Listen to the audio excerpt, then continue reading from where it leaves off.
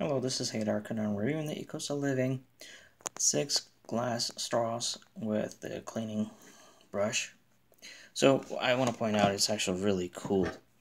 It's thick as well, so once you're, you know, if you can definitely let a uh, toddler use it, but I wouldn't recommend it. Um,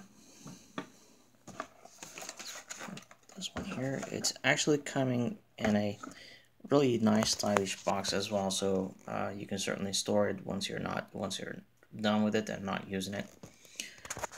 And the best part is of course you know if you're environmental um, environmentally pro-environmental I guess that's probably one way of saying this uh, this is actually that you don't have to throw these away which is the the whole reason these are these are glass.